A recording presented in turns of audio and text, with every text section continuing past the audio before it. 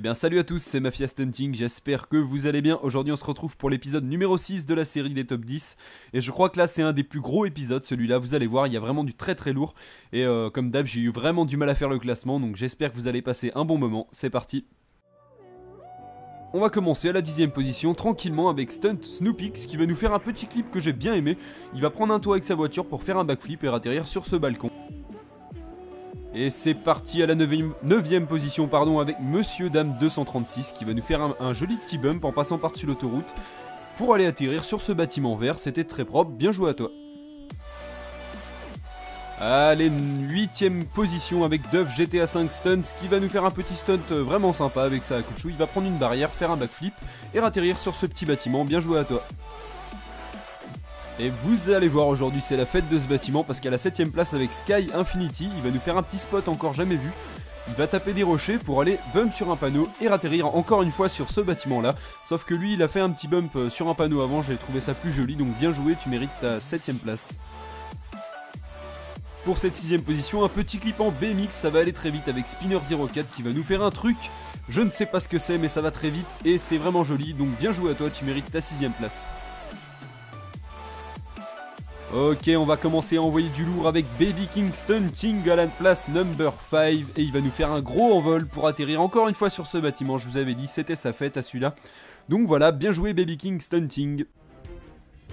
Ok, on est à la quatrième position et ça commence à envoyer vraiment du très lourd avec Spooky qui n'a encore pas pris de boost à l'élan, j'ai vu euh, la prise d'élan qu'il a fait.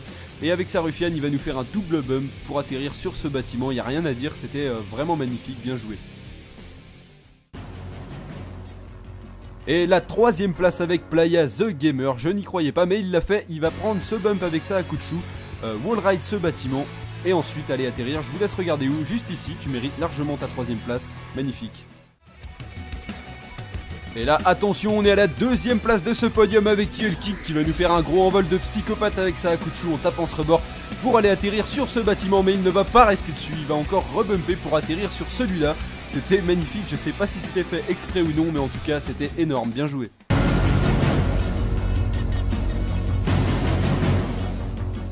Et la number one de ce top 10, celui qui mérite largement sa première place avec un des plus beaux stuns de GTA V que j'ai vu jusqu'à présent.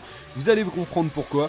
J'ai accéléré la vidéo pour que, pour que ce soit un petit peu moins long. Il va prendre un élan de psychopathe, vous allez voir. Il va arriver sur son spot, lever la roue, taper ce rebord et ensuite faire un énorme glide pour aller atterrir. Je vous laisse comprendre où et bien sûr cette petite cheminée, il va nous faire un énorme envol pour atterrir sur ce petit truc.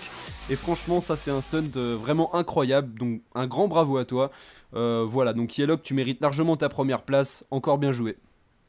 Et bien voilà les amis, c'est la fin de ce top 10 épisode 6 et pour ma part je vais me remettre au stun parce que moi aussi je dois en rentrer. Euh, donc si jamais je vous dis à très vite pour un nouveau top 10 et justement bah à la semaine prochaine. Ciao ciao